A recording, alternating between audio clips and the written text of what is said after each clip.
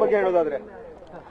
ಇವತ್ತು ಮಾನ್ಯ ಸರ್ವೋಚ್ಚ ನ್ಯಾಯಾಲಯದಲ್ಲಿ ಬಹಳ ದೀರ್ಘವಾಗಿ ಈ ಮೊಕದ್ದಮೆ ಹಿಯರಿಂಗ್ ಆಯಿತು.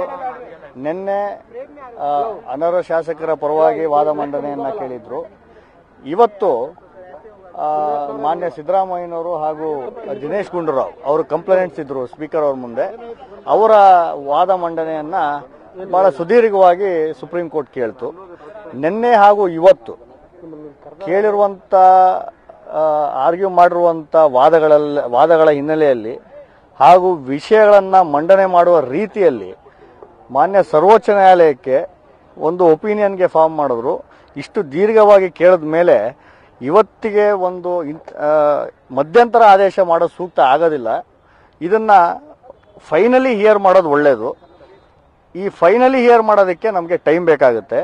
ಇಂಥ ಸಂದರ್ಭದಲ್ಲಿ ಎಲೆಕ್ಷನ್ ಮೂವತ್ತನೇ ತಾರೀಕು ಲಾಸ್ಟ್ ಡೇಟ್ ಇರೋದ್ರಿಂದ ಹಾಗೂ ಅಕ್ಟೋಬರ್ ಇಪ್ಪತ್ತೊಂದರಕ್ಕೆ ಎಲೆಕ್ಷನ್ ಇರೋದ್ರಿಂದ ಅದು ಮುಂದೂಡುವುದು ಒಳ್ಳೆಯದು ಅನ್ನೋ ಅಭಿಪ್ರಾಯವನ್ನು ಸರ್ವೋಚ್ಚ ನ್ಯಾಯಾಲಯ ಎಕ್ಸ್ಪ್ರೆಸ್ ಮಾಡ್ತು. ಅದಕ್ಕೋಸ್ಕರ ಎಲೆಕ್ಷನ್ ಕಮಿಷನ್ ಆಫ್ ಇಂಡಿಯಾಗೆ ಅಪಿಯರ್ ಆಗಿದ್ದಂಥ ಸೀನಿಯರ್ ಕೌನ್ಸಿಲ್ ಅವರು ಸ್ಟೇಟ್ಮೆಂಟ್ ಮಾಡಿದ್ದಾರೆ. ಕರ್ನಾಟಕದಲ್ಲಿ ಅಕ್ಟೋಬರ್ ಇಪ್ಪತ್ತೊಂದನೇ ತಾರೀಕು ಯಾವ ಎಲೆಕ್ಷನ್ ಶೆಡ್ಯೂಲ್ ಆಗಿತ್ತೋ ಈ ಅನರ್ಹ ಶಾಸಕರ ಕೇಸನ್ನ ಮುಗಿಯುವ ತನಕ ನಾವು ಅದನ್ನ ಮುಂದೂಡ್ತೀವಿ. ಅದು ಸದ್ಯದ ಮಟ್ಟಿಗೆ ಎಲೆಕ್ಷನ್ ಮುಂದೂಡಲಾಗಿದೆ ಅಂತ ಸ್ಪಷ್ಟವಾಗಿ ಅವರು ಸ್ಟೇಟ್ಮೆಂಟ್ ಮಾಡಿದ್ದಾರೆ.